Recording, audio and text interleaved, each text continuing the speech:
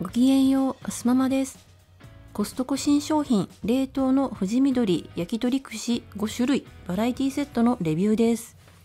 チャンネル登録もお願いします。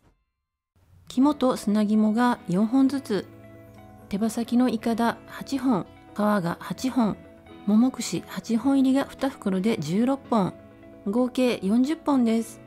8人分を想定しているようですね。種類ごとに真空パックになっています。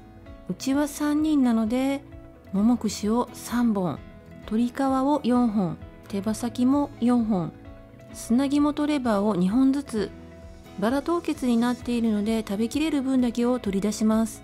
肝と砂肝は1袋にまとめて入っていました。残りをシールして冷凍庫に戻します。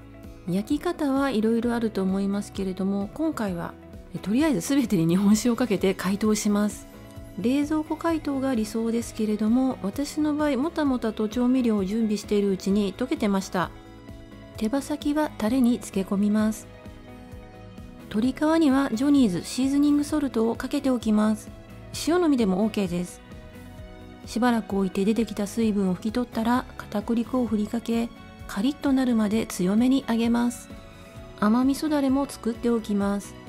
赤味噌砂糖みりんお酒を鍋に入れて弱火でゆっくりかき混ぜながらドロッとなるまで煮詰めます。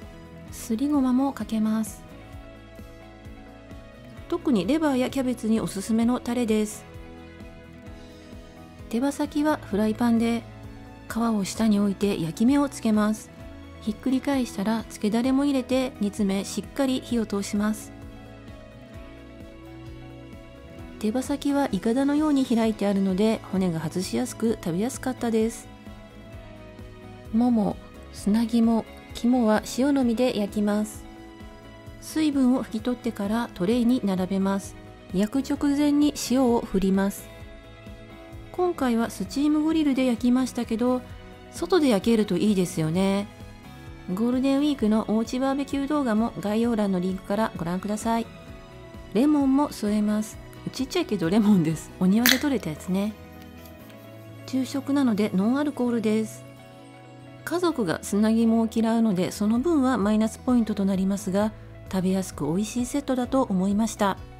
今回も最後まで見てくださりありがとうございました。